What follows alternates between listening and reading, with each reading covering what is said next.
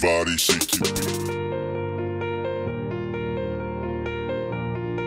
안녕하세요. 오늘 제가 방문한 곳은 말레이시아 이포에 위치한 켈리스 캐슬입니다. 쿠알라룸푸르에서 이포까지 자동차로 이동했고요. 약 3시간 정도 소요된 것 같습니다.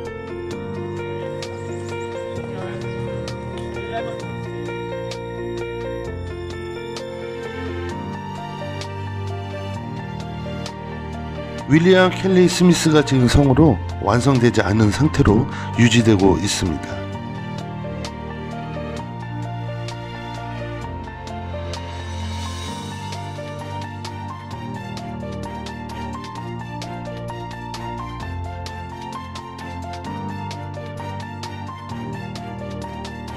윌리엄 켈리 스미스는 19세기 엔지니어로 말레이시아 왔다가 고무 산업을 시작하면서 정착을 하게 되었습니다.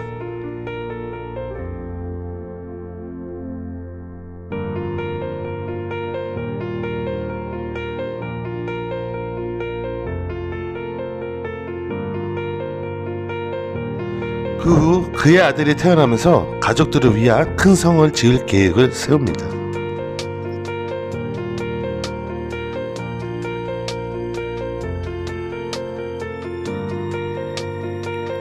건설 인력은 인도에서 약 70여 명의 기술자와 인력이 투입되었습니다. 말레이시아 최초로 엘리베이터를 포함 실내 테니스장까지 만들기 시작합니다.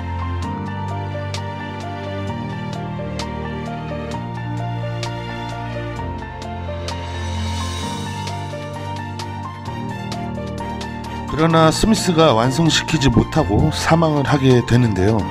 사망 원인은 여러 가지 설이 있습니다. 여행 중에 사망했다고도 하고요. 스페인 독감, 폐렴 또는 알 수 없는 바이러스에 사망했다고도 전해집니다.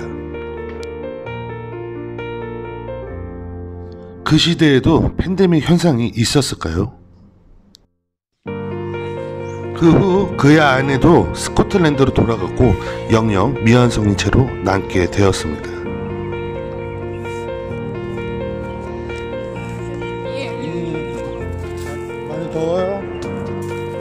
켈리 캐슬의 입장료는 외국인 기준으로 1인당 10링깃입니다.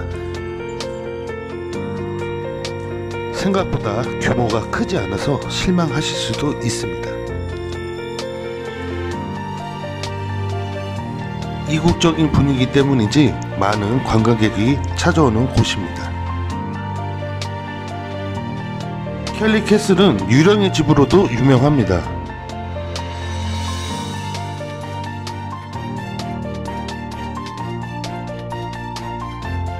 발코니에 서서 아래를 내려다보는 켈리의 유령이 목격됐다는 안내가 적혀 있습니다.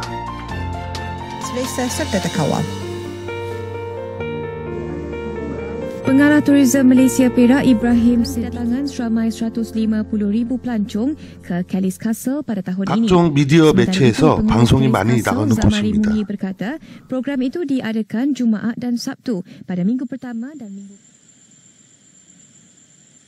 Tengok sana, sana. Bukan sini. Sana. Sa-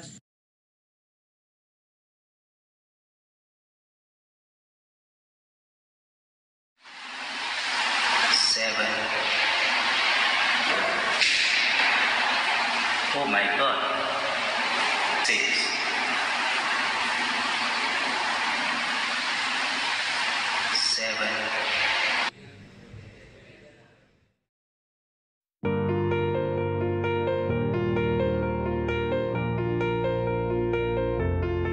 오늘은 말레이시아 이포에 있는 켈리 캐슬에 대해서 설명해 드렸습니다. 오늘 영상은 여기까지입니다. 구독과 좋아요는 무료입니다. 감사합니다.